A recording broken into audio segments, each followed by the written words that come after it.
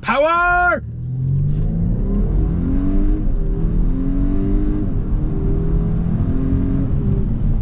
It's about a four second zero to 60. Yeah, someone there in that neighborhood.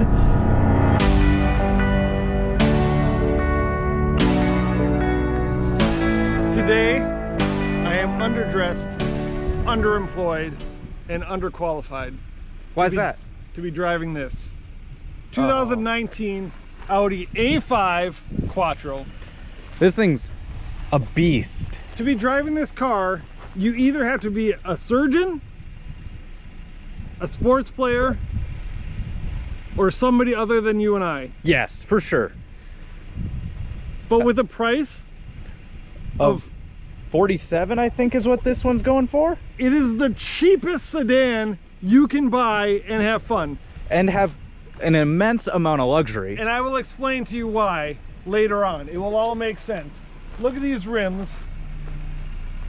Barely the option car. We got the smallest rims you can get on it, They're only 18 inches. but they look okay. They do. They look really good for 18 inch rims. I love the back of this. It's the sport back, which makes it awesome. The dual exhaust. It's just beautiful. Fantastic. The paint has been kissed by unicorn dust. Is that what it has been? It has been. I am not a huge chrome trim guy. But it looks great I love on this, chrome car. Trim. Look at this car, especially the hood. The hood is my favorite. 2019, they made some gigantic upgrades.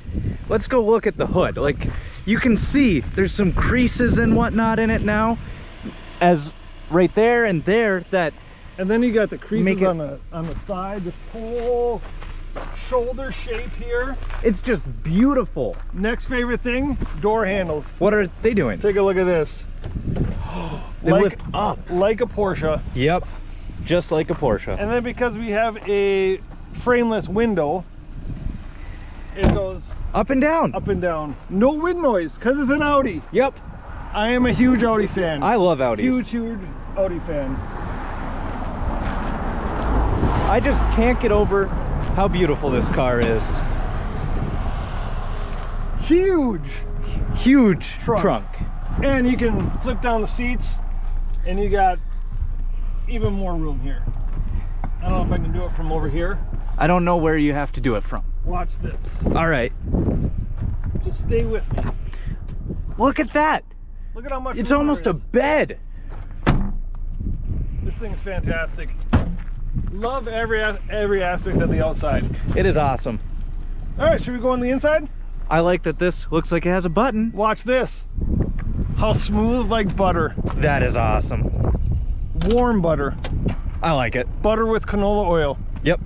All right.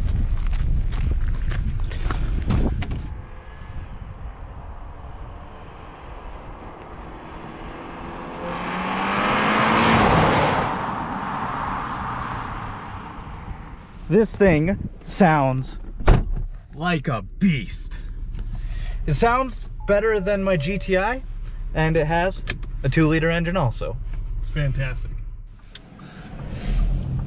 Man, I love Audis. I love them too.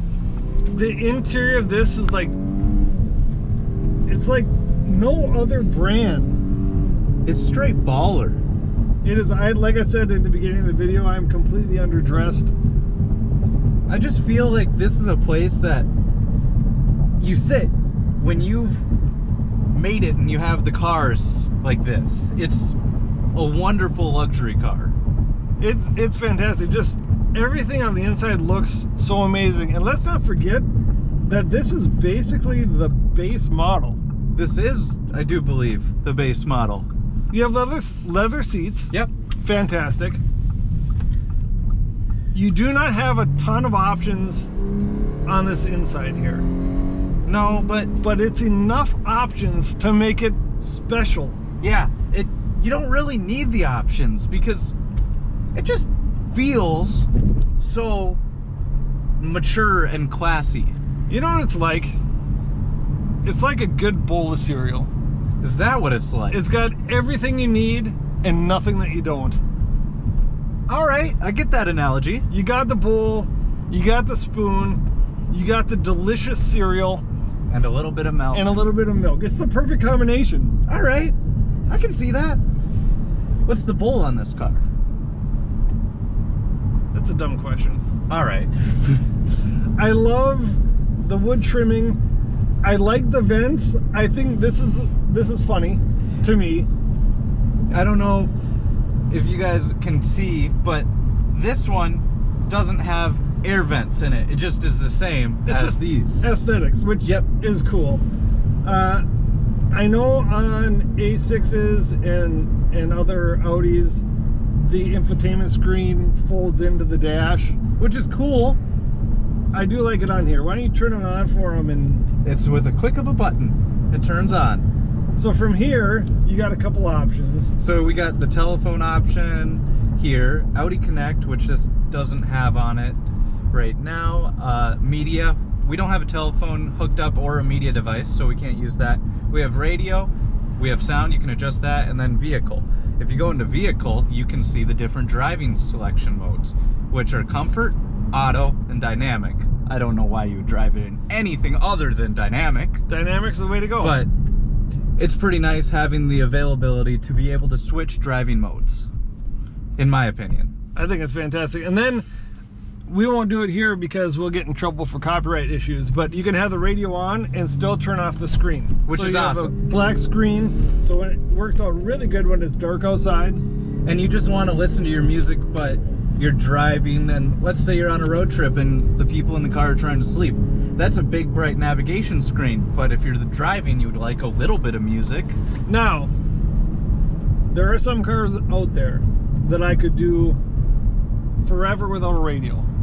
This is not one. It has a two-liter engine. It's got a turbo. It It's- sounds good, but it's not a symphony. Right. It's got a lot of power for what it is, but uh, it's not a Ferrari or something where you're listening for the engine all day long. So you do need that infotainment.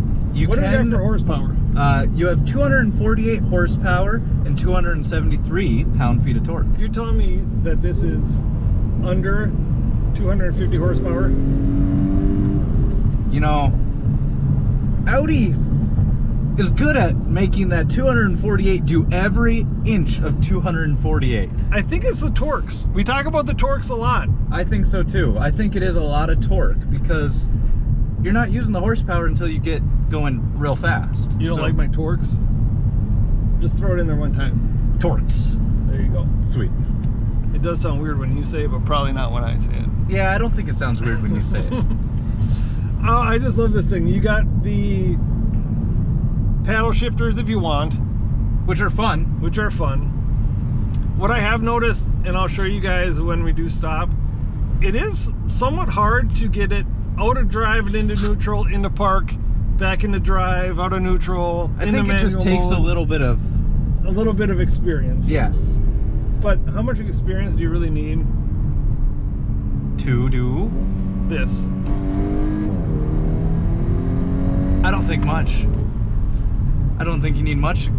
I, I mean- think you just need to have a little bit of fun. This car is fantastic. I love the gauges, how they are driver focused. I like that too. I I like analog gauges, which this one has because it's not a optioned out spec. Optioned out ones will have more uh, driver aids, like a full digital dashboard, I forget the price again. How much is this? forty-seven thousand. Forty-seven thousand. So this car you can probably make it up to sixty, seventy thousand dollars Yeah, with the options. I wouldn't. I wouldn't either. I like it the way it is. I would say for forty-seven grand. I know you can buy a lot of other sedans for that, but you cannot buy this kind of a car. You cannot buy this engineering. No, no, not at all.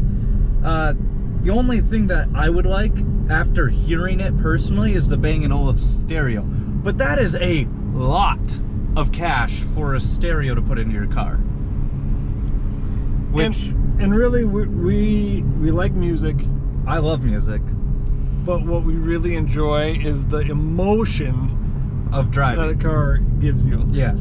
This doesn't have quite the symphony as uh, as other vehicles may have, but it's good. It's good. And it just it's something about driving this. I think the combination of the exterior and the interior, specifically of this A5, I believe that it's exactly what Beethoven would have created if he was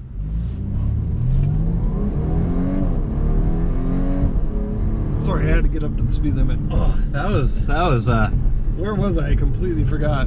Beethoven. Beethoven. I was talking about Beethoven. This is the exact car that Beethoven would have penned had he been a car designer and not a not a um, Musician. musician. I think today. You know what he would have called it? what would you call it? He wouldn't have the first, the second, the third, the fourth symphonies. It's just the symphony.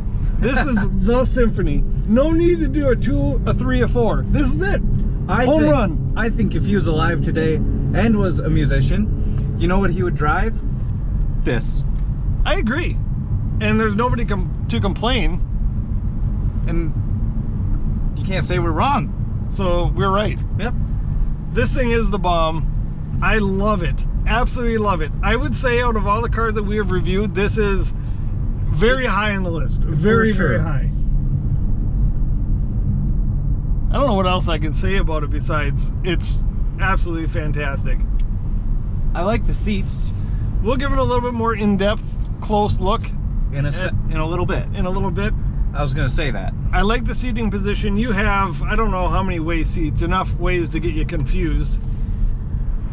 Enough ways to where you could probably end up sitting backwards. Which would be a bad way. It would be. It'd be comfortable. It probably would be. be a bad way. Speaking of comfort, these seats are very comfortable. yeah, these are just the standard Audi seats, but they are They have enough bolster. they have enough to where it feels like it's you're in the seat, but then they have enough plush and suppleness to feel like you're cocooned in the seat. Base model, I know we're talking $47,000 for a base model, but base model, you get memory seats, two position memory seats. Oh, that's awesome. Husband, wife, two butts, one seat, hit a button, it goes to where you want to go. That's perfect. It literally is perfect. I like it. I really like this touch too. You had mentioned that earlier. Yeah, so I'll pull it out so you guys can see it. So if you look, this is like a glossy black finish with a chromed uh, it's little, the little touches. It's great, and it uh, it just most cars it's the same exact texture and color as the rest of the plastic around that spot, but this one they changed it to make it look. It's the little touches that make it feel classy, is what it is. The most important button. I know you're not going to agree because there are some other buttons, if you really think about it, that are more important than this button. Like the on-off button. Don't ruin my surprise. This button right here is my favorite button. I mean, I meant the not on- that way, I meant the engine start but stop that's my button favorite way. as the most important button. That is the most important button. now I'm all confused. I don't even know what you're trying to talk about. I don't know anymore either. I think we can we can both agree that the interior of this is to die for. How does the steering wheel feel when you grab it? Is it meaty enough? Is it too thin? It is. It, it, it's very comfortable, about the perfect diameter, and connecting to the road, you can really feel it. We are currently in park, correct? Yep. As can be seen by the red park. To get out of park, you have to hit the side button and go down. And then you put it into drive. Straightforward. You're in drive, right? To get into neutral now, you can't just push up, button, neutral. You can't just push up to reverse, button to reverse. Then you got the backup camera, perfect. That's a little quirky. How do you get it back into park? Back into neutral right there, back in drive. You don't have to hit the button. Going up, neutral and reverse, you have to hit the side button to get it up. To go down, you just click down. To get it back in neutral, see? That's hit the button neutral. Park, there you're in park. that's really quirky. It is quirky. It's something that is going to take you a day or two to get used to. But if you go further up in here, this is your dial for your infotainment center. These are like menu buttons going back and forward into different menus. Your main menu, going back to the last one, click up to go to the radio. And then you got your volume. Then you got your media there. If you got your telephone connected, navigation and map. Okay. Here's your presets.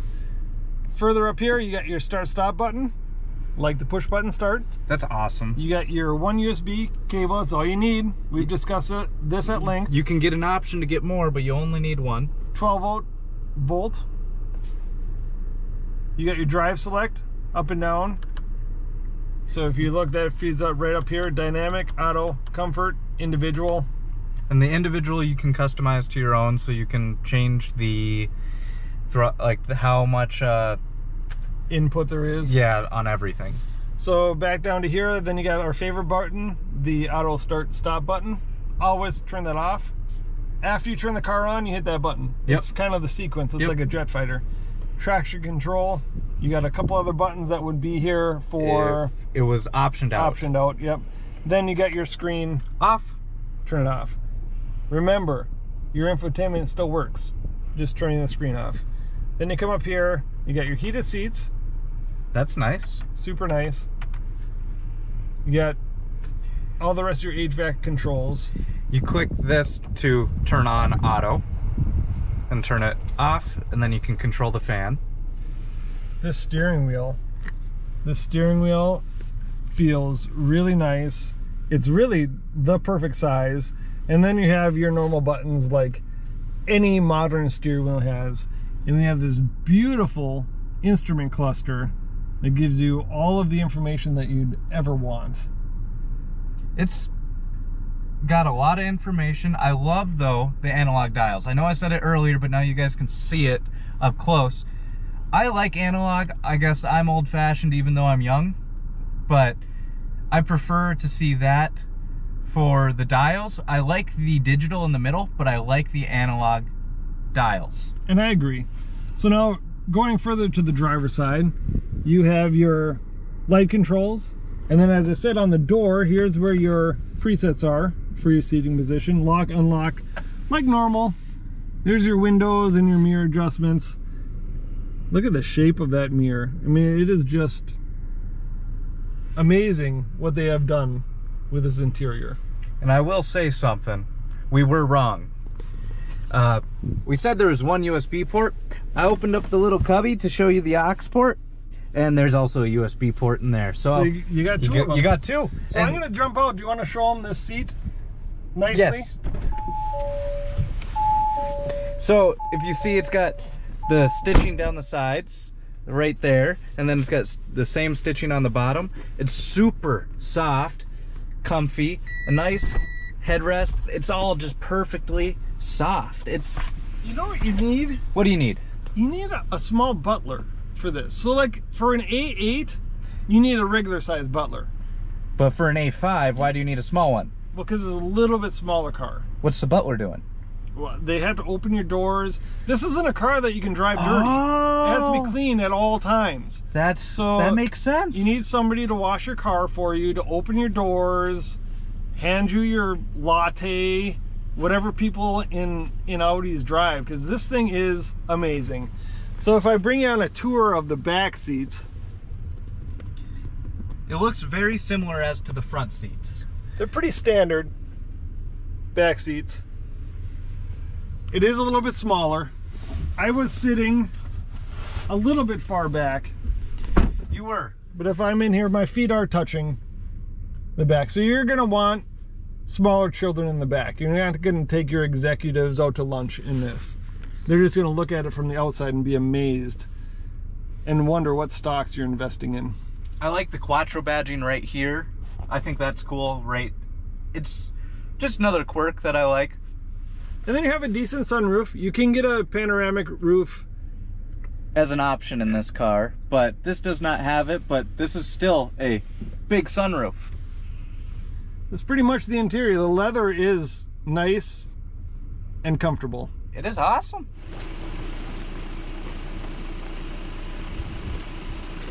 I'm having a really hard time.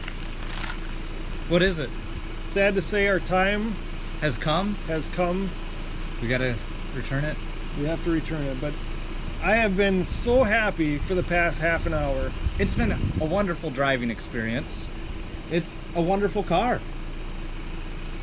Go find $47,000 and buy yourself an A5. This thing For is sure. just fantastic.